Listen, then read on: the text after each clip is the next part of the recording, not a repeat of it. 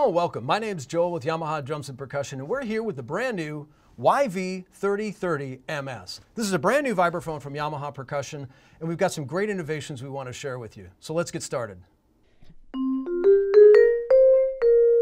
This instrument features an exclusive Yamaha aluminum alloy that we've been using in our Celeste for years. But in the larger bar format for the vibraphones, it really brings out a nice, soft, warm tone out of the instrument. At the same time has great intonation throughout the register, and it has a great balance when it comes to note to note or dynamic range. This is a perfect transition instrument for a student that might be going from a non-graduated xylophone or bell set into a larger format vibraphone.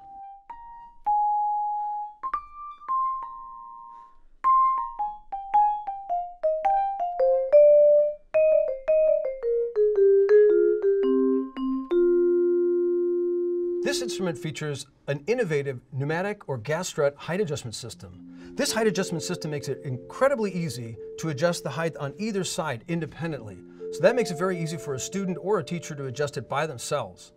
The height adjustment range is approximately 25 inches at the low side, all the way up to 33 and a half inches on the high side, making it perfect for a shorter student just beginning or for a teacher trying to give instruction.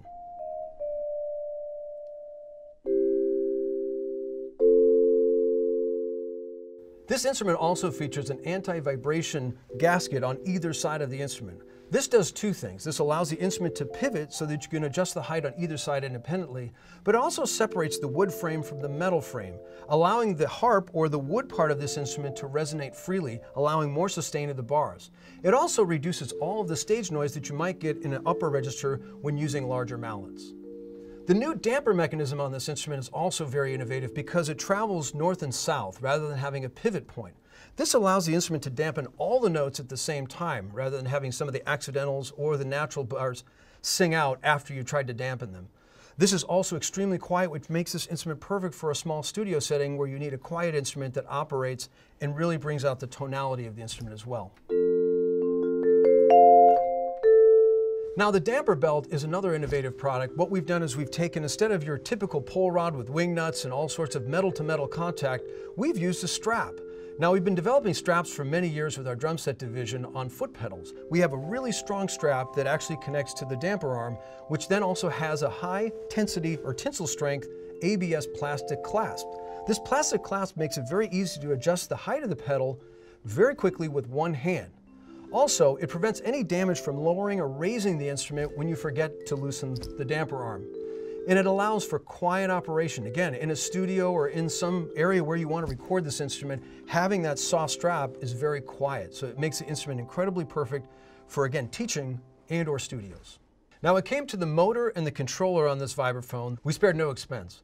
The new motor features a nice hard ABS durable plastic body this prevents any noise transfer into the wood frame when the motor is operating.